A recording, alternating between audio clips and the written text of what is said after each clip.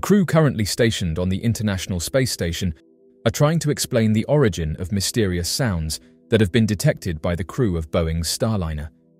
The team has reached out to Mission Control, expressing their concern regarding Starliner. Unusual sounds emanating from the speaker are being detected, and the underlying cause remains unknown. Astronauts aboard the International Space Station are currently investigating the incident that started a few days ago when the Starliner started producing unusual sonar sounds. Following its launch by Boeing on June 5th, the Starliner has encountered numerous issues and substantial obstacles, resulting in the temporary stranding of two astronauts. Owing to safety considerations, Boeing's Starliner is scheduled to return on September 6th without any crew members present. Houston on two. I've got a question about Starliner. Houston's with you, Butch. Go ahead. Uh, the, there's a strange noise coming through the speaker, and I didn't know if you could connect into the Starliner and let me uh, keep mic and let you hear. It. I don't. I don't know what what's making it, but uh, I don't know if it's something that maybe is connected uh, between here and there, making that happen. But uh, anyway, can you do that? We can configure that, Butch. Give us a minute, and I'll call you back when it's ready. Okay. Station Houston on 2, we're configured for audio via hardline and CST, you want to give us a call. Okay, I'm at, uh, I'm at Starliner, and how do you read? 5 by 5 how many? Yes, sir. Okay, I'm going to put, I'm going to keep the mic up next to the speaker. Copy. Hear that? At negative, Butch, we did not hear anything. That. All right, Butch, that one came through. It was kind of like a pulsing noise, almost like a sonar ping. Yeah, I'll do it one more time, and I'll scratch your heads and see if you can figure out what's going on. Here we go.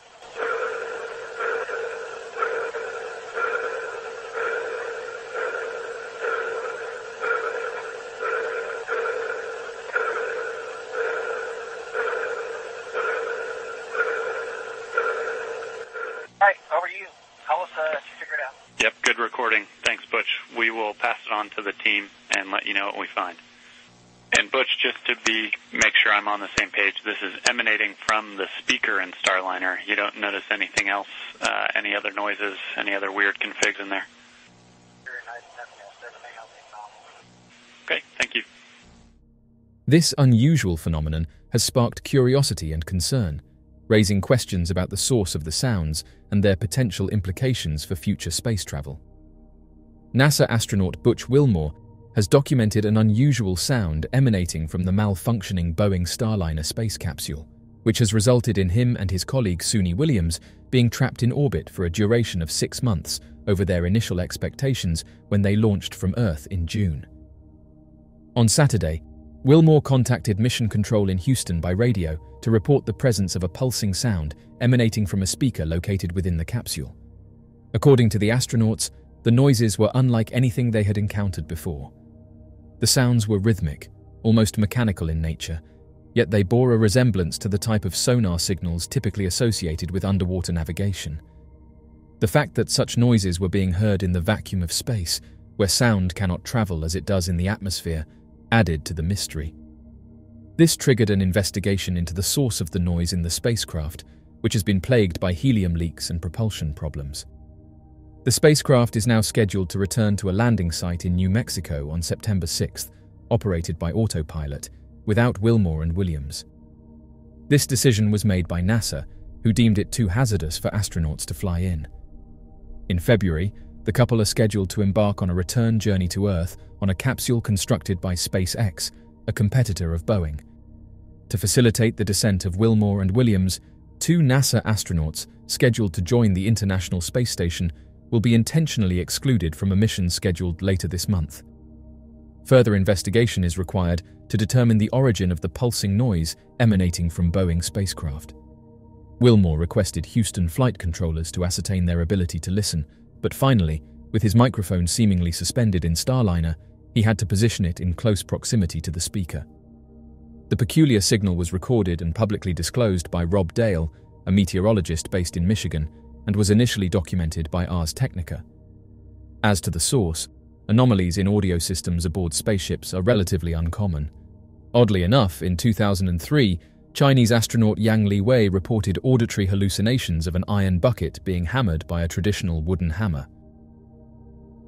The public relations struggle faced by Boeing has transcended the confines of Earth since the company's Starliner spacecraft, carrying two astronauts, is now immobilized in outer space. Following an initial eight day mission, US astronauts Sunita Suni Williams and Barry Butch Wilmore have now been stationed aboard the International Space Station for over a month, engaging in technical work to resolve issues with Starliner. The precise timing for the astronauts' successful return to Earth is yet uncertain. According to a Boeing representative, the Starliner crew flight test has been postponed until after two scheduled spacewalks on Monday, June 24th, and Tuesday, July 2nd. At present, there is no specific date for the return, and the company will assess several possibilities following the spacewalks.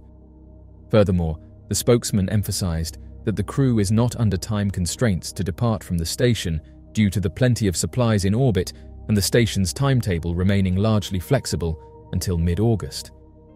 The Starliner successfully launched into space on June 5th from the Cape Canaveral Space Force Station in Florida, following two prior unsuccessful attempts on May 6th and June 1st. Deviating from the planned timeline and exceeding the allocated budget by $1.5 billion, this specific NASA Boeing project encountered complications well in advance of its formal launch, such as malfunctions in reaction control thrusters and helium leaks. According to the Boeing representative, the helium leaks and most of the thruster issues have been contained and do not pose a threat to the return trip. Out of the five thrusters that were previously undergoing shutdown, four are now functioning normally. Thus, only one thruster out of a total of 27 is presently inoperative. This does not pose a problem for the return mission, the representative further stated. Officials from NASA and Boeing assert that the astronauts are not marooned and that the technical challenges do not pose a threat to the mission. According to NASA, the spacecraft necessitates a duration of seven hours for unrestricted flight in order to carry out a typical end of mission. Furthermore, present levels of helium in its tanks are sufficient to sustain 70 hours of unrestricted flight activity after being unloaded. During a recent press briefing, Steve Stich, the manager of NASA's Commercial Crew Program, stated that they are proceeding as planned and adhering to their established mission management team procedure.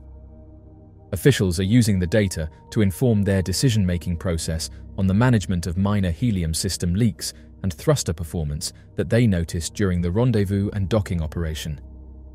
In the event of an emergency or a necessity for a rapid departure, the spacecraft is authorized to undock and return to Earth. NASA stated that during the docking of Starliner, all the manifolds are closed in accordance with standard mission operations to avoid any loss of helium from the tanks. Should the Starliner prove to be unsafe, Williams and Wilmore may be required to accompany the crew aboard SpaceX's Dragon spacecraft, which is presently connected to the International Space Station on the opposite side. Boeing is currently facing its most recent crisis, which follows other public crises they have experienced with different commercial aeroplanes. However, the corporation maintains that these crises are distinct problems. During a May news conference, NASA Administrator Bill Nelson stated that the Starliner launch is just the sixth debut voyage of a crewed spacecraft in the history of the United States.